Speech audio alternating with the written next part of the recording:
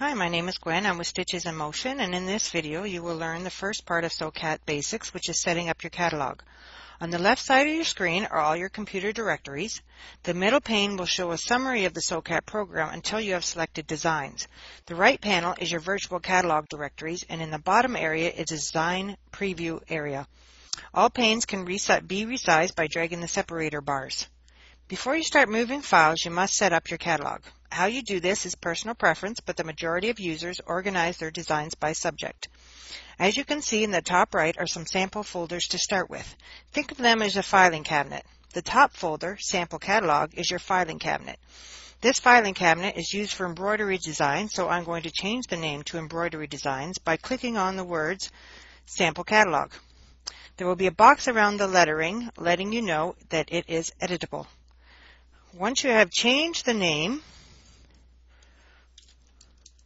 you can hit the Enter button on your keyboard. Notice to the left of the Embroidery Designs folder, there is a minus sign. This means that your files cannot be expanded any further, or using the filing cabinet theory, our filing cabinet is open. By clicking on the minus sign, we can close our filing cabinet. The plus sign means that we can expand our files. Notice the plus sign beside the sewing folder. That means it can be expanded farther as well to show further files. The plus sign changes to a minus sign as there are no more subfolders. You can rename the sample files, but on, I'm going to delete them all except the top one and start fresh.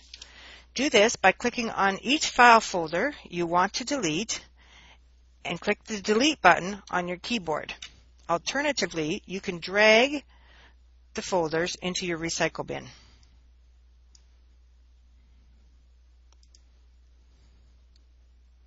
Deleting a folder will delete any subfolders attached to it.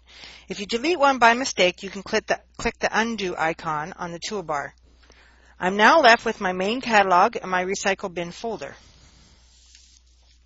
Before starting a catalog, you should have a rough idea of how you want to organize your designs. This way is only a suggestion. I'm going to create categories or subject folders. With the Embroidery Designs folder highlighted, sorry I chose a name, I'm going to hit Insert on my keyboard. That will create a new subfolder, which I can rename by clicking on there. I'm going to call this one Animals. Remember, you only need to click on the folder name to change it. And the highlight returns to the top folder, so I can hit my Insert button again and rename the next folder.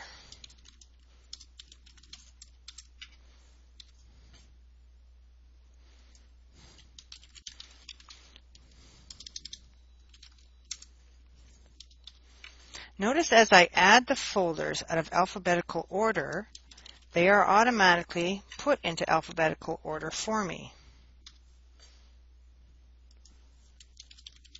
If you would prefer that your designs not be, or your categories not to be sorted alphabetically, you can go to Tools and unclick Alphabetize.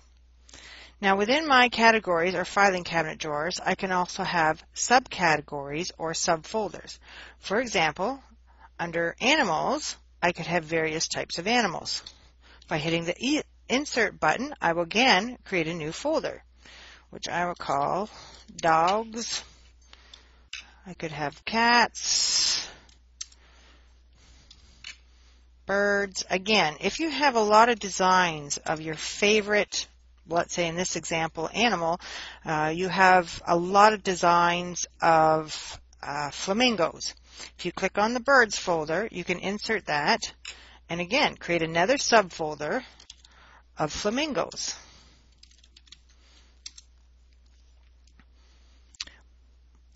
When making subfolders, don't worry about covering every subsubject though.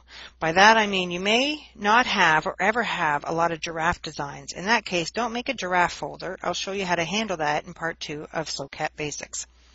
Once you have your catalog set up to your preference, save the catalog so you don't lose anything.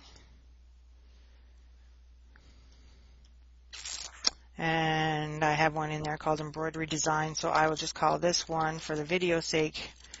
Embroidery designs video. If you have a folder or embroidery designs in your computer you can save your catalogs there. In part two we will start adding designs to the catalog